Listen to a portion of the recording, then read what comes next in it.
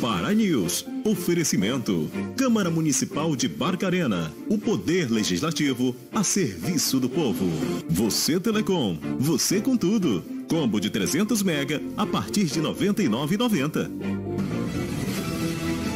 Olá, você está entrando no ar a última edição do Jornal Para News de 2022 e vamos aos destaques desta edição. O Natal da Gente distribuiu mais de 30 mil brinquedos para crianças no município de Barcarena.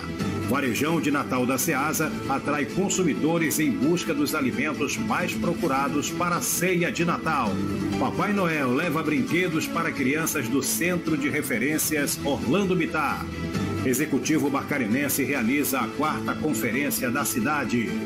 Clube do Remo e Paysandu realizam pré-temporada de olho no Campeonato Paraense 2023. Nós já estamos no ar.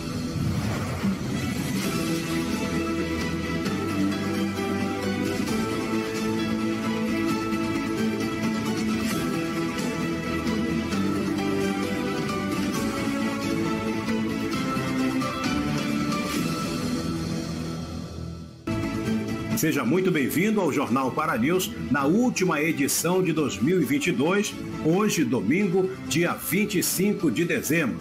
Hoje é Natal e nós do Jornal Para News desejamos a todas as famílias um Feliz Natal e um Ano Novo cheio de realizações. E o Natal da Gente, promovido pela Prefeitura Municipal de Barcarena, distribuiu este ano mais de 30 mil brinquedos e atendeu mais de 25 mil crianças da rede pública municipal, além de prêmios para as famílias. Veja como foi em Vila dos Cabanos logo no começo da semana.